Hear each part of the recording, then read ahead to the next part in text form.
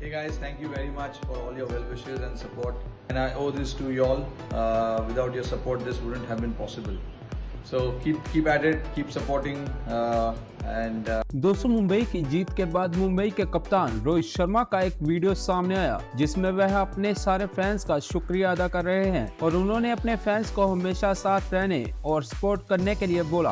आपको बता दें मुंबई इंडियंस ने लखनऊ सुपर जायंट्स को इक्यासी रनों से हरा दिया है। इस जीत के साथ मुंबई ने दूसरे क्वालिफायर में अपनी जगह बना ली है। अब शुक्रवार को मुंबई का सामना गुजरात टाइटन से होगा। दोस्तों आपको क्या लगता है इस बार कौन सी टीम फाइनल में चेन्नई सुपर किंग्स का सामना करेगी? आप हमें अपनी राय कमेंट बॉक्स में कमेंट कर ज़रूर बताएँ।